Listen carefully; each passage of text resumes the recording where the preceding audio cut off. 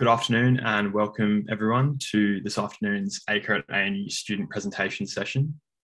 We acknowledge and celebrate the first Australians on whose traditional lands we meet and pay our respect to the elders past and present. My name's Lucas and I'll be chairing today's session. Our first presenter for today is Coco Huang. Coco, please start when you're ready. Awesome, let me just share my screen then. All right, well, good afternoon, everyone. I'm Coco, and I'm a medical science student at the University of Sydney.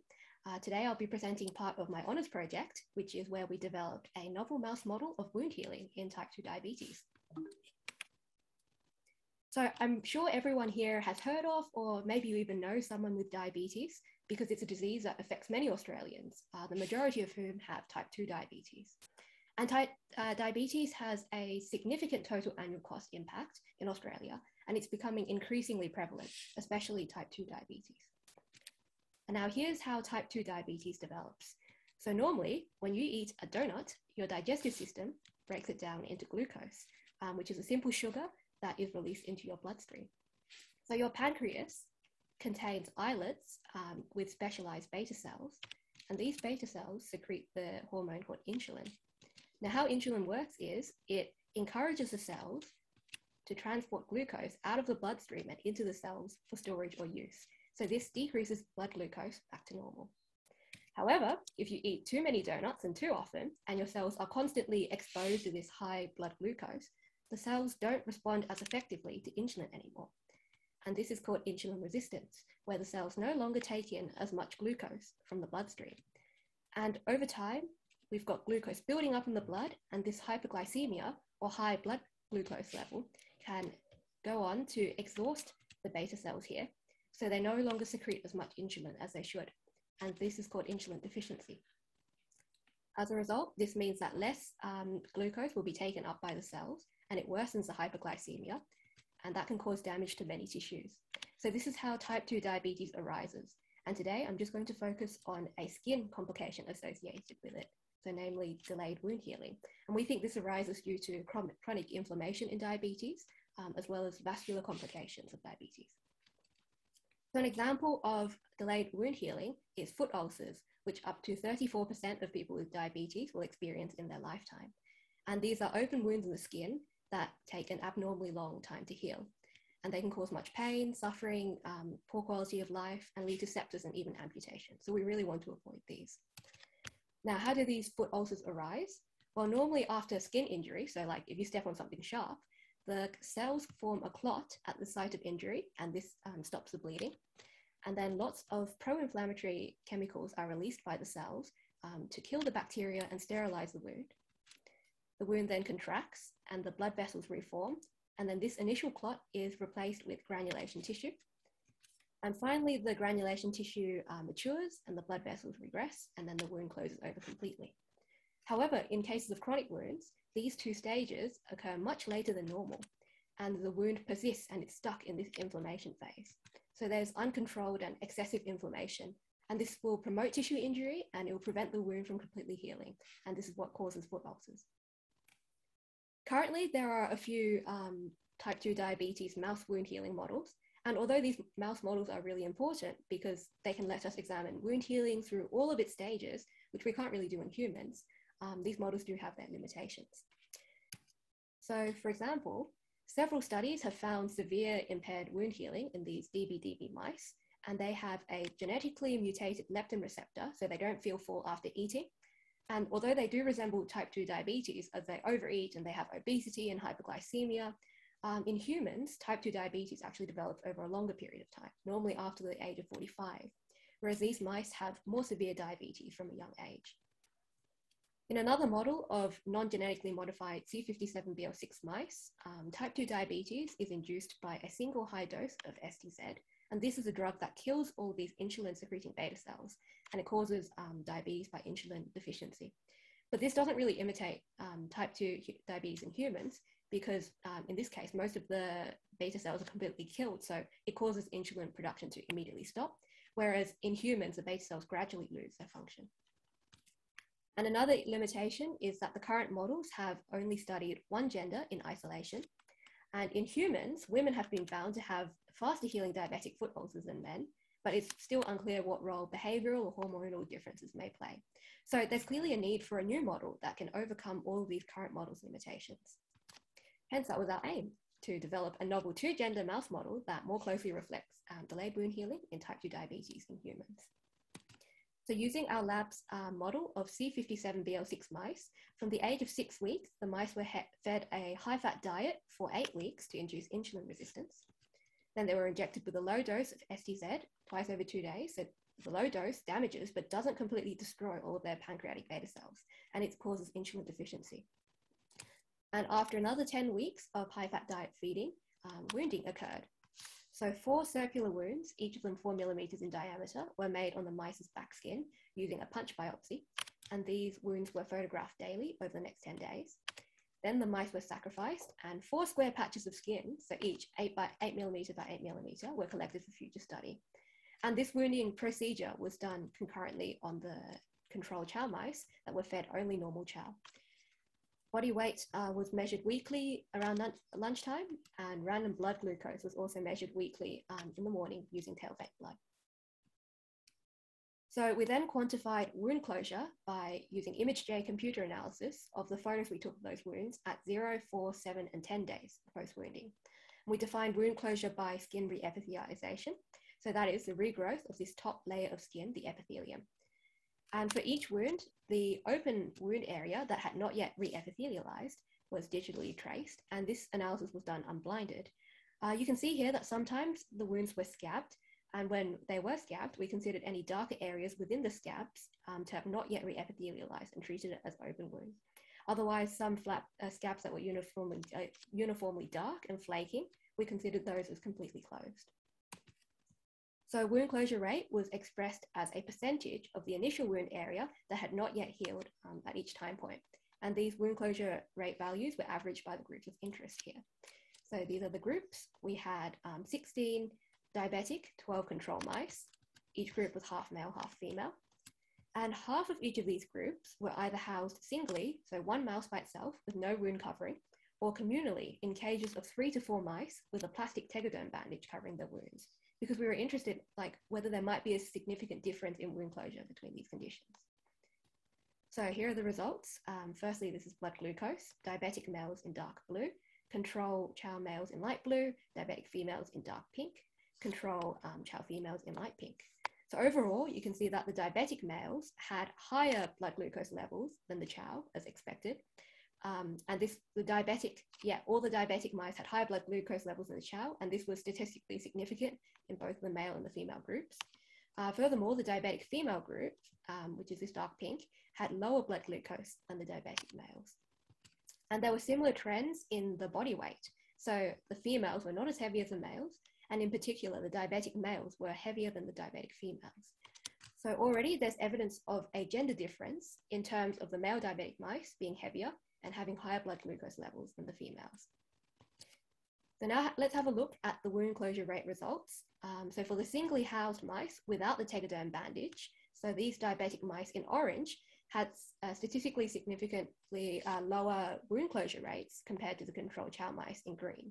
As you can see here at four days for both male and female, and also um, at seven days for the females.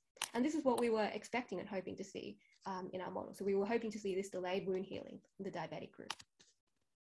However, in the communally housed mice um, with tegaderm, there wasn't a significant um, difference in wound closure between the male um, diabetic and control mice. And in the females, the diabetic group actually had a higher and better wound closure rate. So this was a bit strange because we clearly didn't see impaired wound healing in the diabetic group. And we think maybe tegaderm bandage, um, that could have been the confounder, as it was just very poorly retained by the mice. And this suggests that single housing is the most suitable for uh, future studies, as in single housing, we saw um, delayed wound healing both in the male and female diabetic groups compared to the chow controls.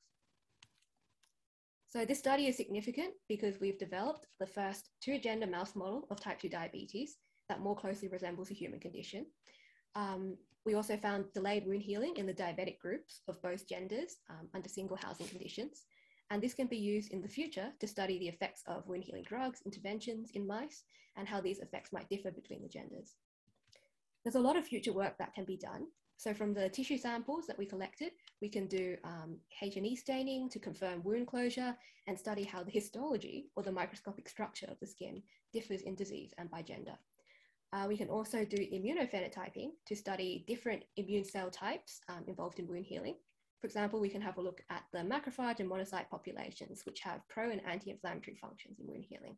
So take home message is this new model um, we've developed will definitely be useful for future mouse studies of delayed wound healing in type 2 diabetes.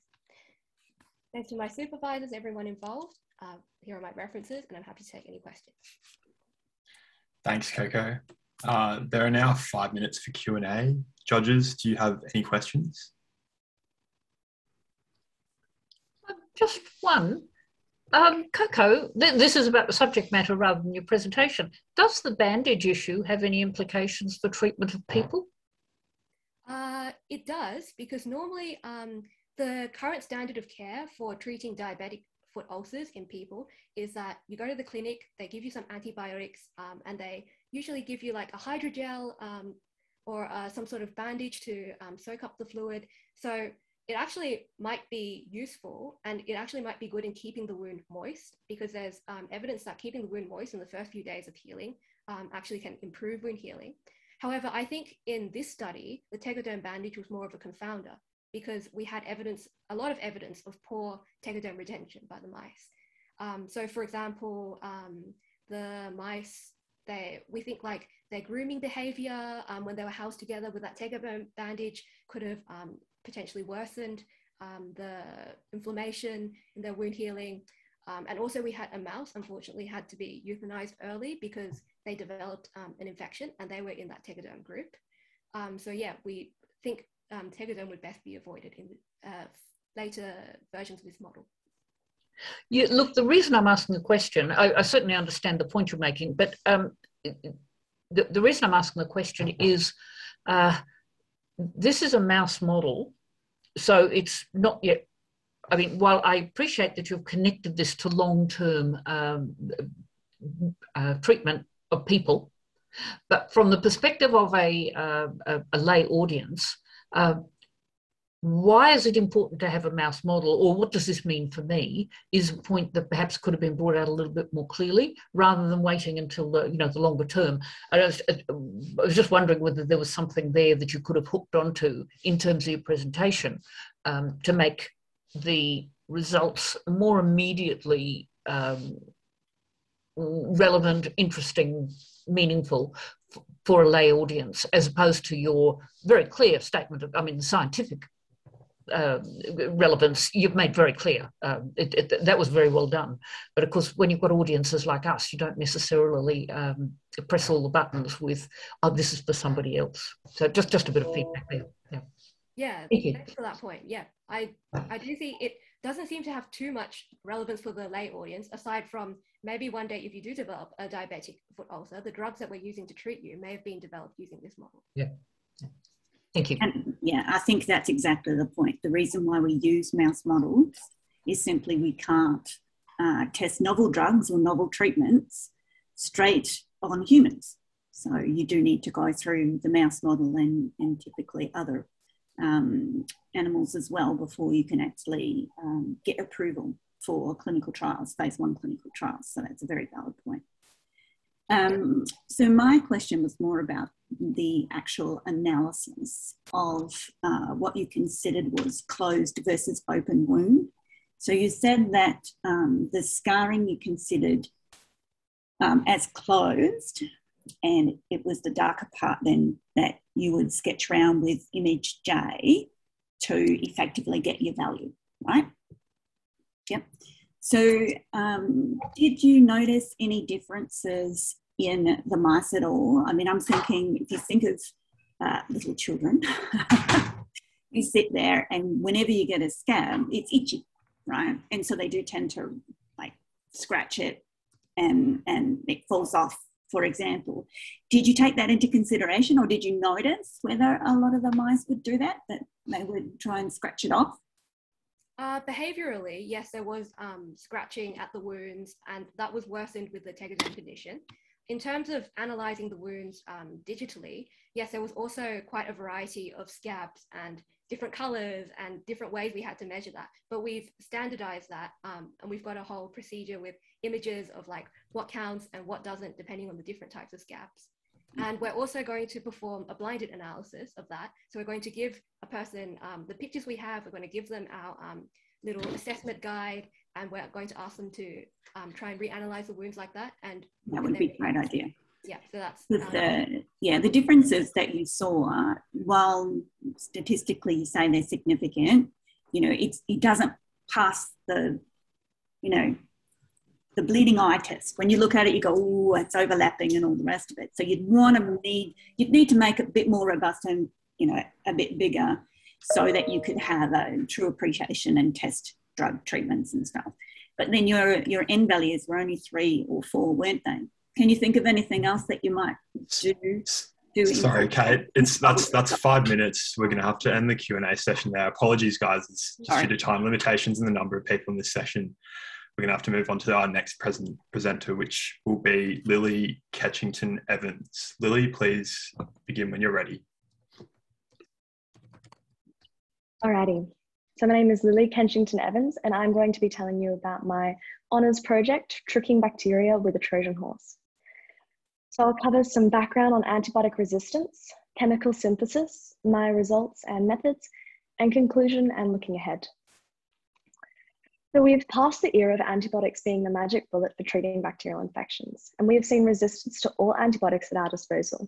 And this crisis is one of the biggest threats to global health, security, and development today. Antibiotic resistance has arisen from our misuse and overuse of the drugs, as well as intrinsic resistant factors to bacteria, namely the efflux pump and outer membrane. So the World Health Organization highlights several pathogens that pose a significant threat due to their multi-drug resistance, including 5 gram-negative bacteria, as seen here.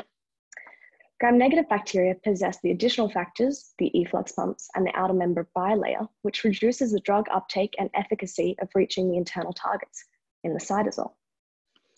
So we can bypass this problem by tricking bacteria into actively taking up our drug compounds, and this is known as the Trojan horse approach.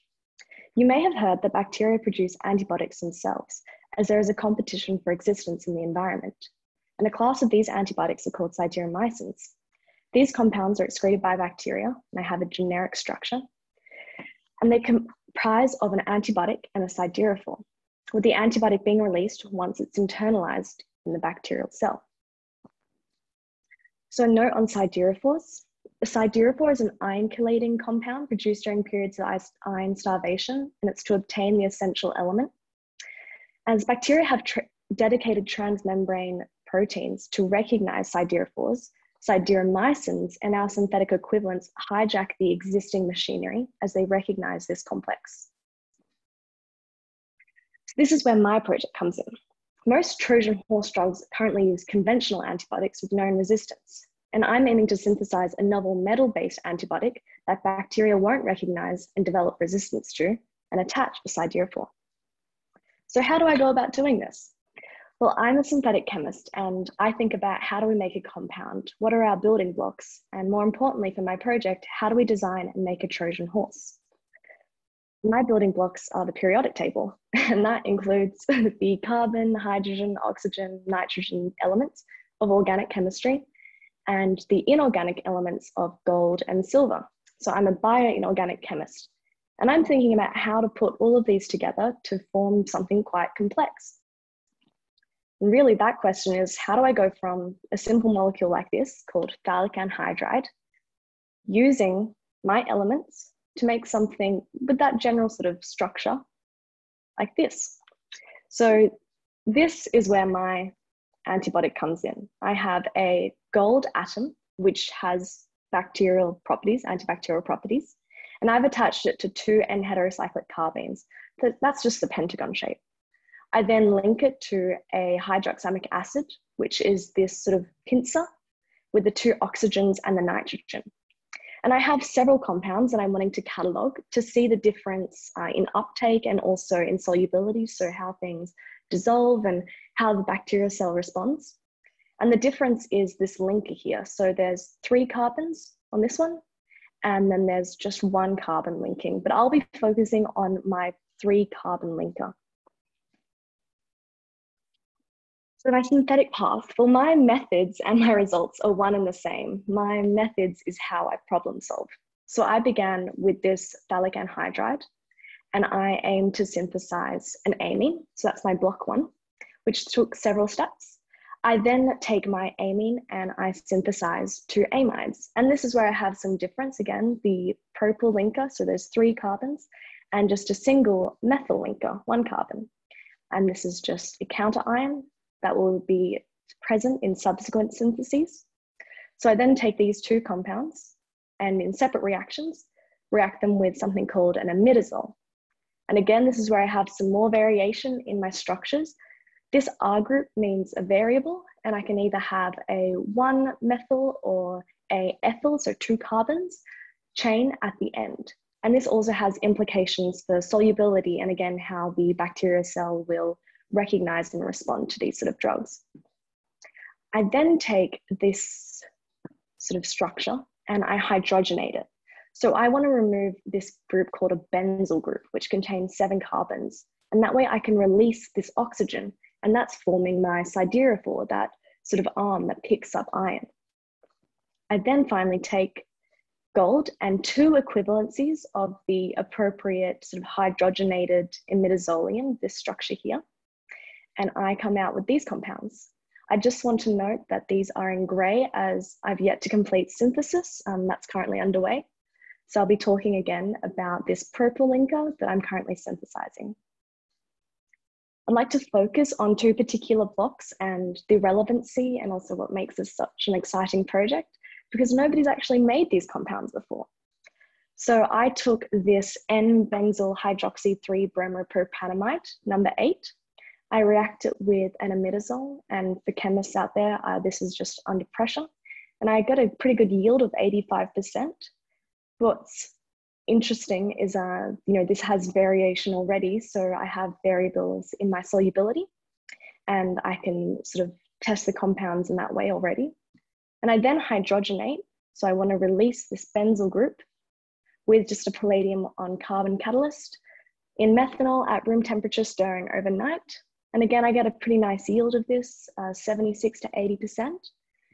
And i'd just like to point out the counter ion bromine here because this whole molecule has a positive charge, but I'll be excluding it for the rest of the slideshow just for clarity.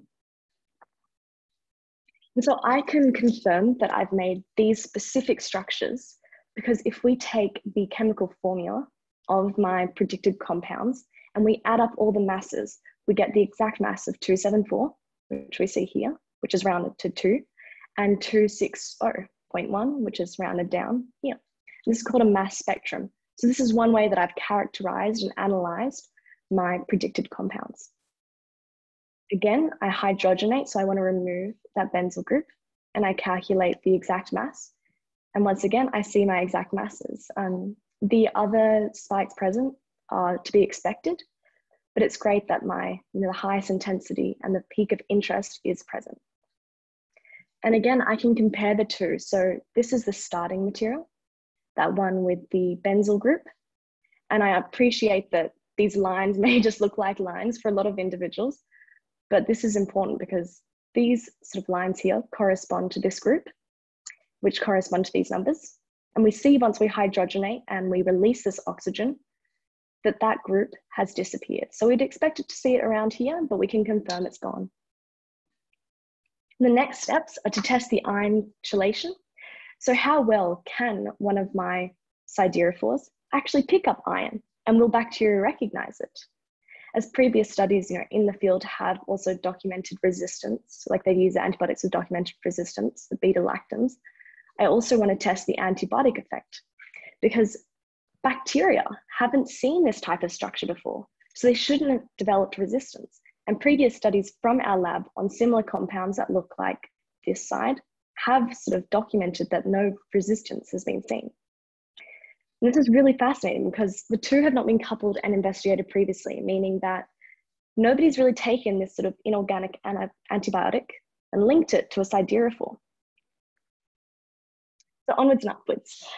My two sort of general aims for this project really were to create a su successful synthetic strategy, which I have so far, um, awaiting results on the other one with the shorter linker, And my aim too was to optimize bacterial selectivity because if we can trick bacteria into taking up one of our novel compounds where our Trojan horses releases metal ions instead of soldiers, we might just be able to restock our arsenal in the battle against antibiotic resistance. Thank you. Questions? Thanks, Lily. There's now five minutes for Q&A. Uh, judges, have you got any questions to start us off with? Um, I'm happy to start. So I find it really interesting. Um, how did you decide on what actual compound to start with in the first place? I mean, there would have been a billion. yeah, yeah. Um, so incredibly fascinating. So um, that N heterocyclic carbene, which links to a gold, they are of interest because the way that they bind to the metal leads to the slow release of the metal ion. And the metal ion, like gold and silver, both have antibacterial properties. So that's well known. And our group last year published a paper, and I wasn't a part of the lab when this was published, um, showing and highlighting that these novel and heterocyclic carbenes with gold did have antibiotic properties, and they had a more complex arm. So theirs was a bit longer. And the theory was that um, something so inorganic that bacteria didn't develop any resistance to should be tried for the Trojan horse approach because the Trojan horse approach has been quite successful and they've even sort of gone to, I think two have gone to clinical trial. But the problem is they use beta lactams, which we know the gram negative have beta lactamases that break down those beta lactams immediately. So that was sort of the idea behind taking that specific drug. Um, yeah. And I've got another question, but Anne, if you've got a question, I'm happy for you. I can go. So um, I'm interested in the way that you talk about bacteria resistance. Okay, mm-hmm. so whilst you're saying that the bacteria right now don't have resistance to it, the whole idea about bacteria is that they divide, you know, very quickly and yeah. and they'll have genetic changes during that, and so they can acquire resistance. Mm. So how would you address that then? I mean, that could still happen, right? Oh yeah, completely. You know, E. coli divides what every 20 minutes or so in a lab. Um, so this is where it's really exciting is that gold and silver nanoparticles that have formed the basis of a lot of antibiotic resistance studies for these novel sort of metal compounds have yet to have resistance.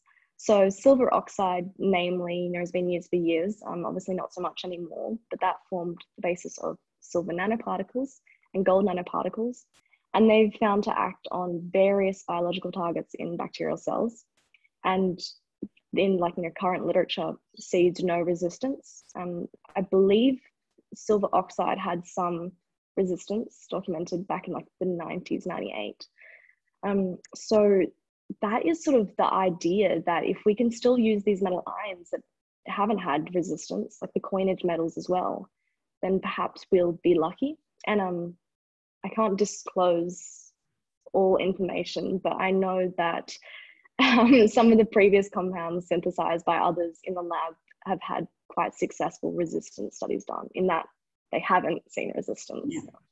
Okay. And when you do test them, if I've got time, what sort of bacteria are you testing them against? Are you going to test a whole range or are you just going for gram negative? Yeah, I'm going for gram negative. So our lab has previously looked at gram positive as well, and I've know that they've um, sort of classed that, but I'm looking at gram negative because the type of siderophore that I've used is called a hydroxamic acid, and that's a really common gram negative one. And also because the World Health Organization does list the escape pathogens, five of those being um, you know, Enterococcus, Pseudomonas, Staph aureus, which is gram positive, then Klebsiella and you know, pneumonia. So I want to look at those ones and see if I could have those five species because that'd be great. That'd be a lovely little story. so, and um, thinking about Anne's question mm. to Coco as well, bringing that up in the front and telling us mm-hmm. how those gram negative ones, these ones are, you know, we've got issues with and what diseases they could cause would make your late audience a little bit more excited. I, I was excited, but you know. cool. No, thank you so much for the feedback. No worries. That's good. All right if no one has any more questions, I think we can move on to the next presenter, uh, which will be Sichi Chen. Sichi, please begin when you're ready. Yeah, sure. I'm going to share my screen. Can everyone see my screen? Yep. Okay. Hello everyone, I'm Siqi Chen from University of Sydney, and today it will be a great pleasure to share my research assessing the efficacy of herbal medicines in an animal model of inflammatory bowel disease. This project is co-supervised by Professor Paul Whiting and Dr. Gulfam Ahmed, and collaborated with Associate Professor Ronglong Huang. Inflammatory bowel disease, or IBD, is a chronic disease characterized by relapsing intestinal inflammation, as you can see on the diagram here. Though the cause of the disease remains largely unknown, unregulated um, production of myeloperoxidase, or MPO, an antibacterial enzyme, is found to contribute to perpetuated inflammation in IBD. Acute colitis and Crohn's disease are the two main types of IBD, IBD has highest prevalence in Western countries with more than 0.3% and rising incidence in Asia. Symptoms of IBD include abdominal pain, diarrhea, rectal bleeding, and weight loss. These debilitating symptoms can often lead to depression. Besides, mortality is linked to 60% higher incidence of progression to colorectal cancer in IBD patients. Overall, IBD causes disabling health problems and heavy productivity loss on individuals, and it also imposes a huge economic burden on the society. To date, there is still no permanent cure for IBD. Current clinical therapeutics include immunosuppressants, non-steroidal drugs, dietary changes, and surgical resection. However, these therapies suffer from many disadvantages, such as severe side effects, intermittent relapse of the disease, and high out of pocket costs. Therefore, treatment strategies with few side effects are desperately needed. Natural products, especially medicinal herbs, may have potential to be such next generation drugs since they have shown anti inflammatory and antioxidant properties with relative safety. Importantly, they are cheaper and more accessible in many countries. Medicinal herbs thus have been used for centuries, especially in Asian countries, and several have been developed for Western medicinal purposes in recent decades.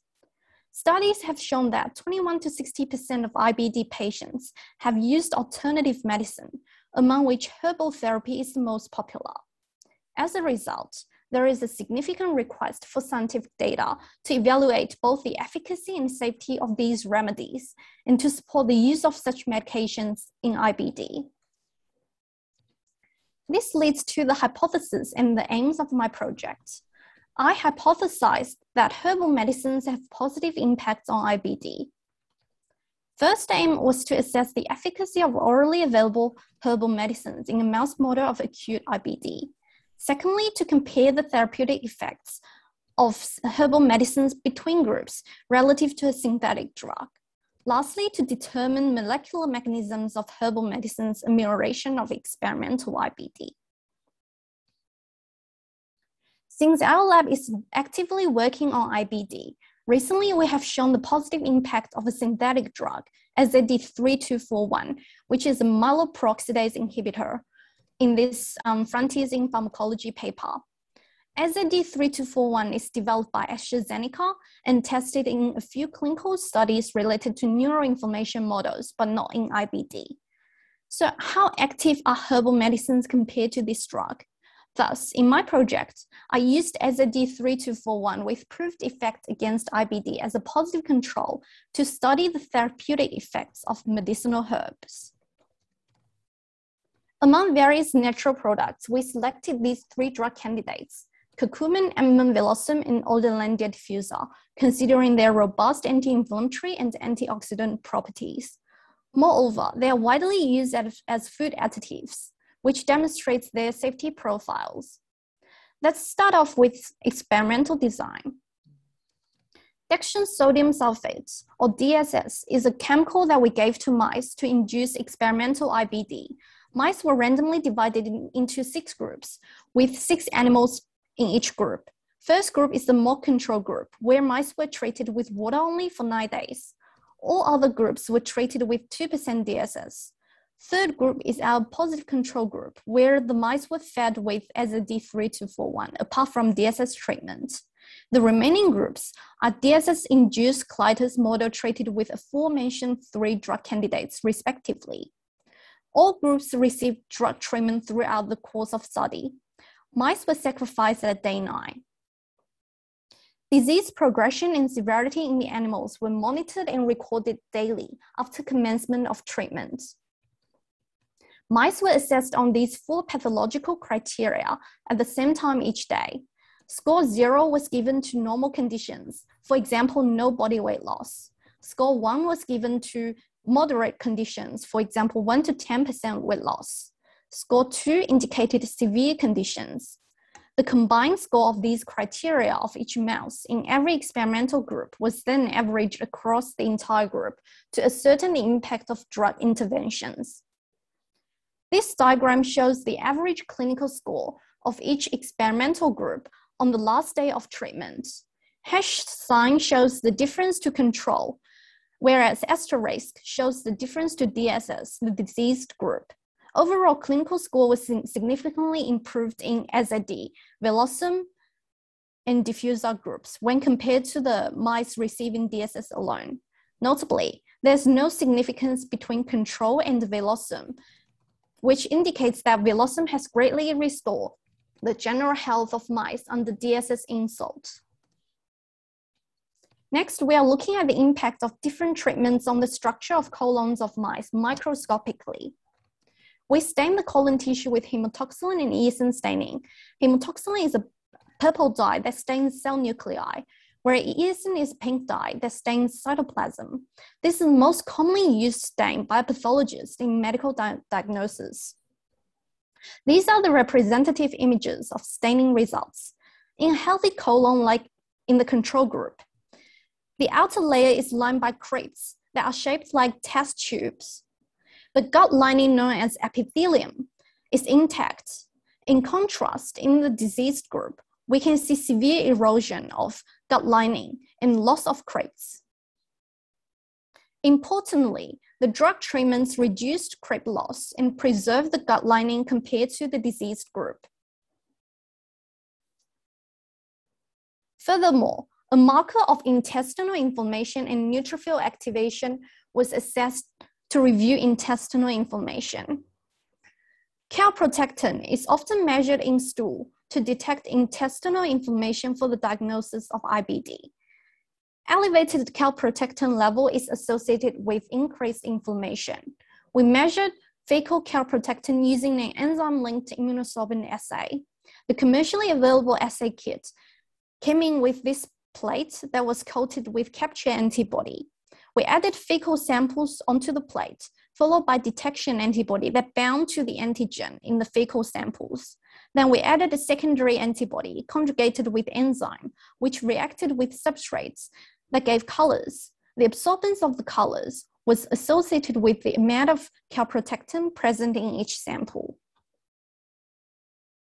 The results show substantial decreases in calprotectin levels in all drug treatment um, groups compared to DSS group, which aligns with the clinical finding that drug interventions preserve the health of mice. In conclusion, Herbal candidates ameliorated the course and severity of experimental IBD with similar, if not better, potency than the synthetic drug AZD3241. Therefore, these natural alternatives possess some potential as novel therapeutic agents for IBD with reduced side effects and enhanced safety and efficacy. Thank you for listening. I'm open to any questions. Here is the acknowledgement. Thank you. Thanks, Siqi. There's now five minutes for Q&A. Judges, did you have any questions to start us off with?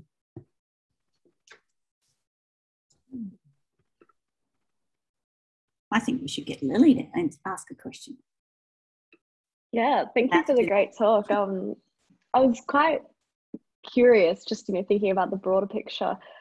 Are you thinking about um, you know, taking the most successful can like drug candidate and then looking at any analogs, or is that something that the lab's looking at right now? Um, that's a very good question.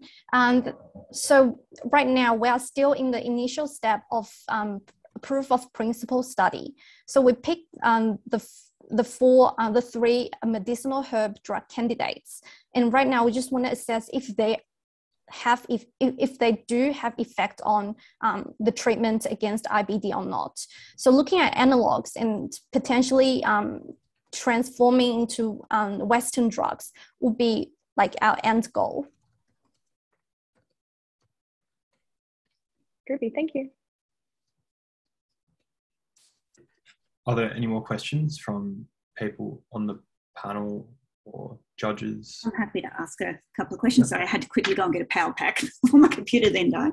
Not as organised as I'd hoped. So um, I'm actually intrigued, and Lily's question was good about whether you would actually have a look at these compounds and work out exactly what's in it that is being effective. Um, and I was also wondering, what do you think about the idea of what controls you didn't have in your experiments, where actually you control mice with the the um, different drugs? Did you, do you think that that's worth well having a look at? Um, At the drugs by themselves in a normal person or normal mouse? do you mean if we control the amount of drugs that we put into we, we give the mice? I'm wondering if you should also include um, your control mice that are not treated with uh, what is it DSS? Um, Yeah. But treat them with your your active drugs of interest and see if you get any other effects, side effects. Um, that's a really good question. Yeah, so in, in my in our project, we haven't looked at look at the um, safety of the of these herbal medicines yet. Um, I think that will be next step we want to look look into if we if my project proves that these herbal candidates actually working against um, IBD. Um, I was also interested why you use peanut butter.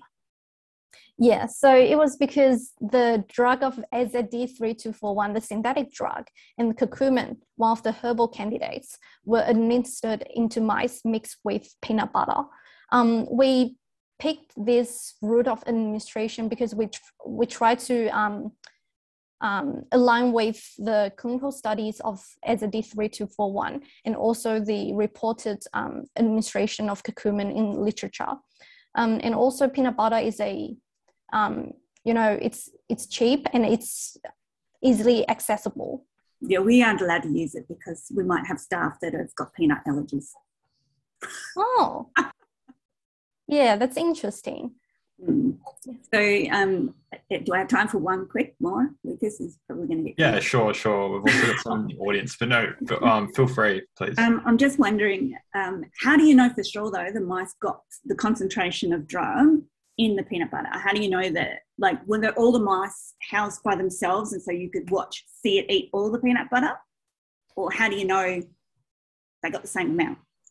yeah and so the peanut butter was given around so the drugs were mixed in around Yeah. 0.1 grams of peanut butter and then it's actually fed one by one by um, our staff members Yeah.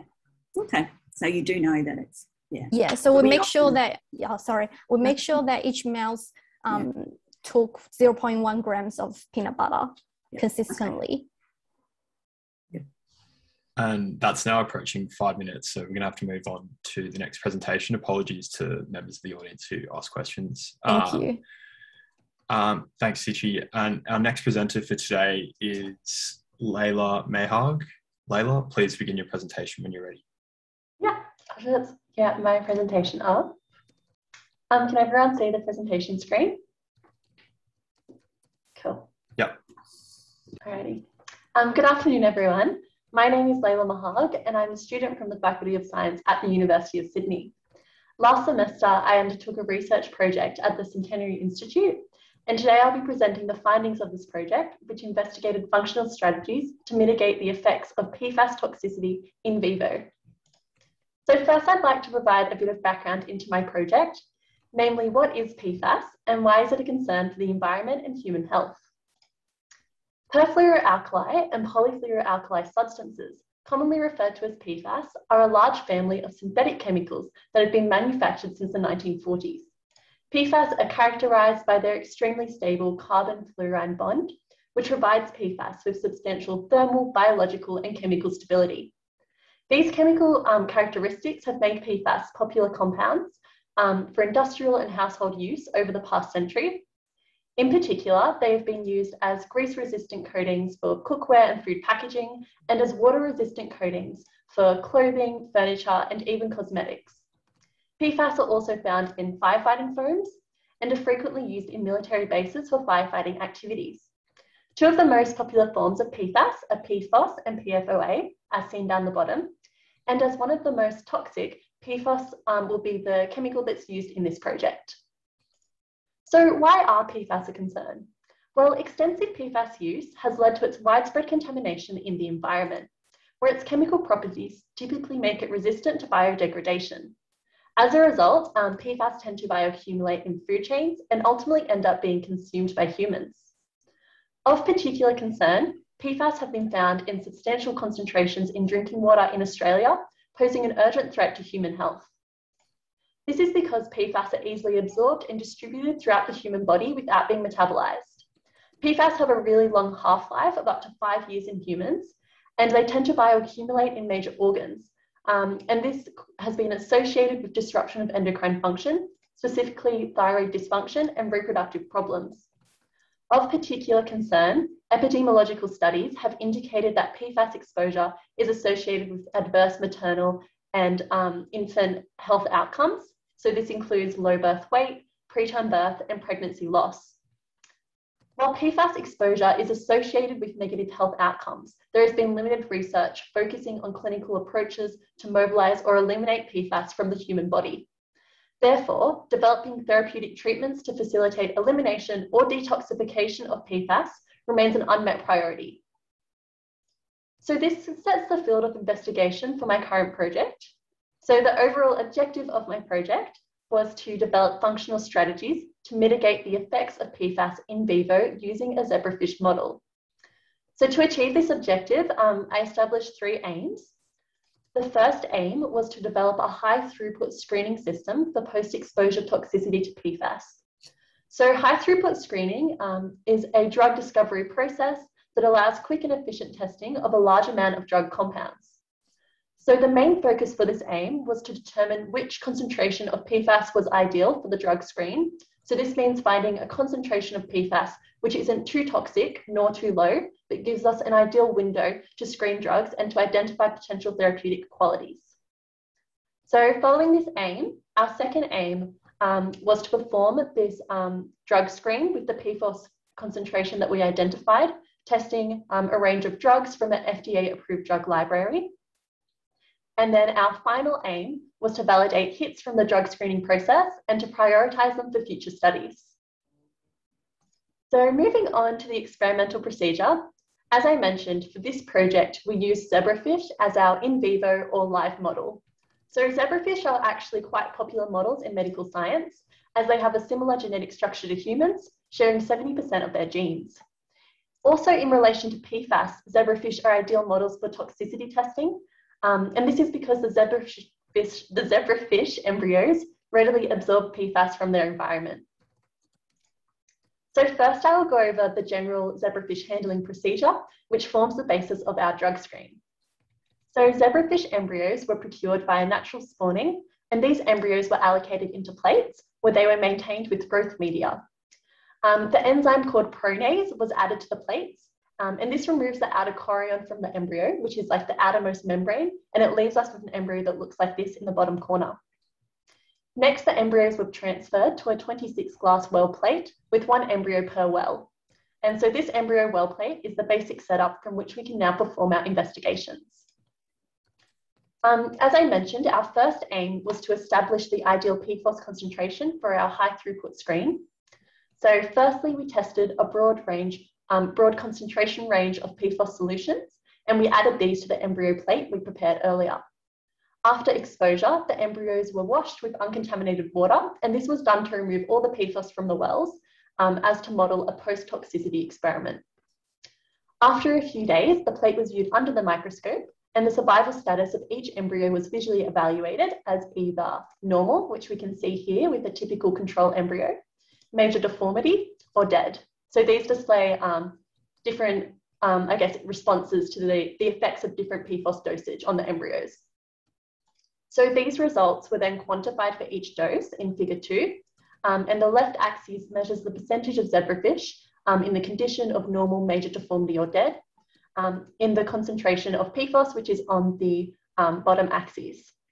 So from this, we established that at a concentration between 10 and 100 micromolar was ideal, as the toxic effects of PFOS was observed without killing all the embryos, thus providing a potential window that we could use to screen drugs for embryo treatment. To find the optimal PFOS dose, we repeated the assay as previously described, but we tested additional doses in the identified range between 10 and 100 micromolar of PFOS. So in this figure, we can see that at a PFOS concentration of 80 micromolar, there are no normal type um, embryos, and we have approximately 50% of the embryos dead and 50% displaying major deformity. So this represents a concentration that is high enough to ensure that there are no normal embryos to confound the drug screen with false positives, but low enough to not have killed all the embryos, which would prevent any therapeutic effect of the drugs being observed.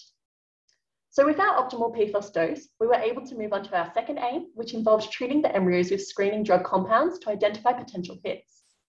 First, we added 80 micromolar concentration of PFAS to each um, well in the embryo plate. Next, the embryos were washed before we used a multi-channel pipette to screen drug compounds of FDA-approved drugs. So a few days later, the plate was viewed under the microscope, and again, the survival status of each embryo was evaluated to see if any of the drugs had potential therapeutic qualities. So table one demonstrates the results of the drug screen. So from the seven drug plates that were tested, each containing 88 unique FDA-approved compounds, um, five drugs had rescuing effects. So this means that they show potential therapeutic qualities. So in this figure, we can see the difference between a normal control embryo and its close resemblance to an embryo that has been rescued um, after being exposed to PFOS. Finally, aligning with aim three, we validated potential hits through repeating the screening protocol. So in this figure, um, we can see that from the five drugs that were retested, four showed weak effects of embryo rescue and one showed a strong effect. So approximately 40% of the embryos treated with the drug from plate 10 were completely rescued and 60% displayed major deformity. However, there were no dead embryos. So what this shows um, is that this drug compound may have potential therapeutic qualities to assist in mitigating the effects of PFAS. So where to from here? Future studies will need to be conducted to further validate the viability of this drug here that we've identified as a therapeutic treatment to mitigate the effects of PFAS. If deemed viable, further testing will be used to identify the specific biological pathways through which the compound is acting and to determine whether this compound is actively mobilizing and eliminating PFAS um, from the body or whether it rescues zebrafish via another mechanism. So in summary, the objective of my research project was to develop functional strategies to mitigate the effects of PFAS in vivo, and we did this using a zebrafish model. This objective was achieved through finding the ideal PFOS concentration for establishing a high throughput screen and we then use this screen to identify five potential drugs um, with therapeutic potential. And then these drugs were then confirmed and validated, um, and we narrowed in on a single um, drug candidate. So with no treatment currently available to eliminate PFAS from human tissues, this work has the potential to be highly significant in providing the first step towards clinical therapies to treat PFAS exposure. Um, finally, I would like to thank and acknowledge all those that were involved and helped me in this project. So this includes my supervisors, Dr. Daniel Hesselson and Dr. Stefan Oehlers, as well as those in Dr. Oehlers's lab at Centenary Institute. These are my references and thank you everyone for listening to my talk. Thanks, Leyla.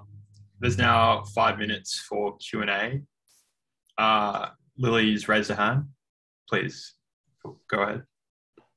Yeah, thank you for the great talk. Um, I was wondering how you, if you could go back to the drug slide, like the drug candidates that didn't work um, yeah. or showed no activity and they didn't rescue the embryos.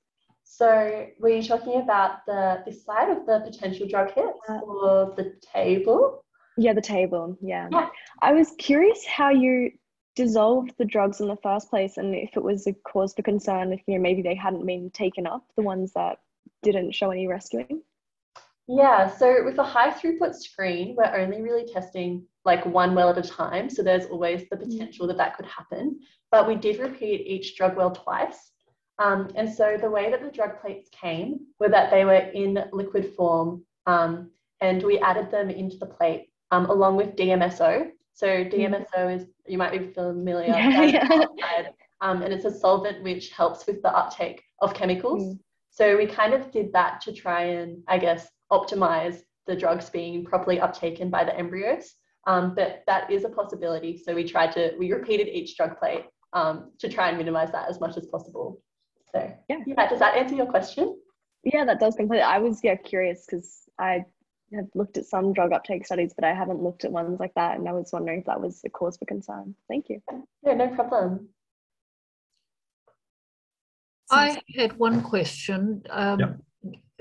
Firstly, uh, reiterating uh, Paul's question, uh, which just flashed up in the in in the chat, uh, which was the question of how you actually um, uh, distinguish between the damaged, dead, not damaged. Um, just a bit more clarity there. But um, also, why did you select zebrafish? I don't think. I, I mean, you know, I'm not. I'm not suggesting that wasn't a good thing to select, but just it wasn't explained why you chose uh, a zebrafish model, for instance, as opposed to some other? Yeah, so the reason why we chose zebrafish, um, I was quite surprised when I came to this project. I thought zebrafish, that seems very random. Um, but I found out that zebrafish are used a lot in, I guess, high throughput systems because it allows us um, to kind of rapidly assess the effects of drugs. So it was six days from when I collected the embryos to when we were able to see whether the drugs were having an effect on the zebrafish. So they have kind of a very rapid development, which we can use in high throughput screening processes where we're trying to get through as many drug compounds as possible to test for a potential hit.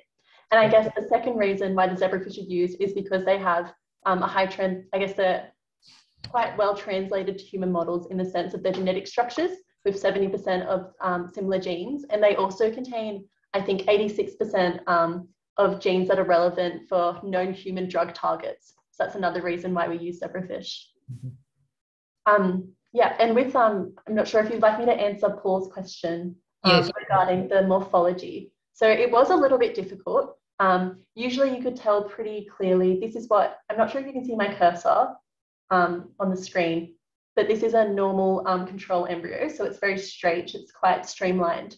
Um, there's a big difference between this is what we call an edema in the major deformity embryo. So that is a typical, I guess, um, symptom of PFOS toxicity in the embryos, as opposed to the dead embryos as well.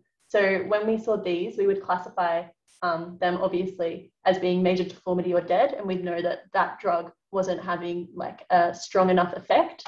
Um, and then it was a little bit tricky sometimes to differentiate between the major deformity and the, um, I think, can you see my screen here, the rescued embryo? So this is what the rescued embryo would look like so it's a bit less, I guess, um, slim in comparison to the normal embryo, but it is quite different to the edema embryo, which has this big um, deformity in its swim bladder. So, yeah. Thank you.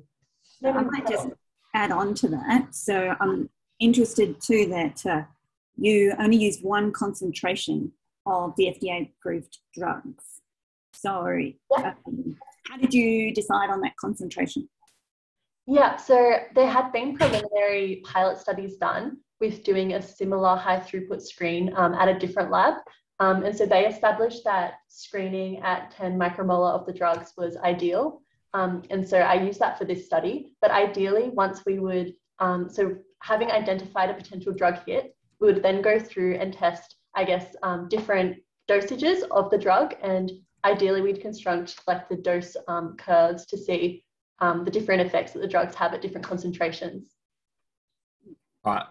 Um, we'll have to end the session there. Uh, thanks a lot, everyone, for your really interesting presentations and congratulations as well. And also thank you to our judges and, and Kate. Um, this recording will be made available online following the conference, and we hope to see you in other conferences or other sessions later on today. All right. Thanks a lot, guys. Thank, Thank you. Thank you. See you. Well done.